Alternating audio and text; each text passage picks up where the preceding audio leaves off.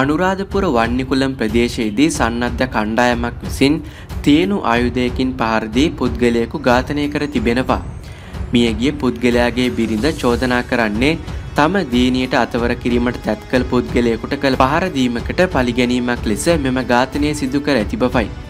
ඊයේ පස්සරු දෙකයි තිහට පමණ වන්නිකුලම් ප්‍රදේශයේදී මෝටර් රථයකින් ගමන් කළ පුද්ගලයෙකුගේ මග හරස් කළ පිරිසක් තියනු ආයුධයකින් පහරදී බරපතල තුවාල සිදු කර තිබුණා.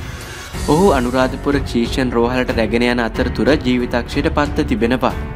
මෙලෙස මිය ගොස් ඇත්තේ අනුරාධපුර විජයපුර රුහුණු මාවත ප්‍රදේශයේ පදිංචි කුලී පදනම මත වාහන සපයන හතලිස් පස් හැවරදි සුජීව ප්‍රසන්න කුමාර හෙට්ටියාරච්චි නැමැති තිදරුපියෙක්.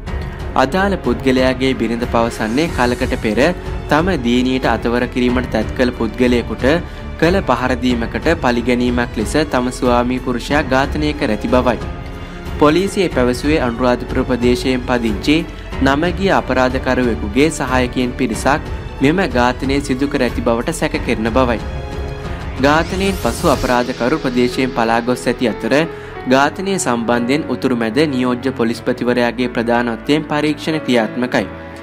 මීට පෙරද තමන්ට සහ දීනියන් දෙදෙනට කර ඇති තර්ජන සම්බන්ධයෙන් පොලිසියට කිහිප වතාවකදී පැමිණිලි සිදු කළද පොලිසිය කිසිදු පියවරක් නොගත් බව මියගිය පුද්ගලයාගේ බිරිඳ පවසනවා.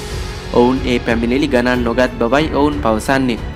පොඩි මිනිහට නීතියක් නැති සාධාරණයක් ඉටු කිරීමට නොහැකි පොලිසියක් සිටිනා මෙවන් රටක ඔබටත් කිසි දිනක කිසිම සාධාරණයක් ඉටුවේවියයි සිතීම සිහිනයකි.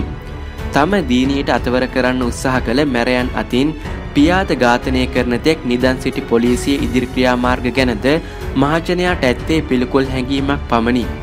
දැන්වත් මේ අපරාධකරුවන්ට නිසි දඩුවම් ලැබේවියයි අපිට නම් ඇත්තේ සැකයක් මිස විශ්වාසයක් නොවේ.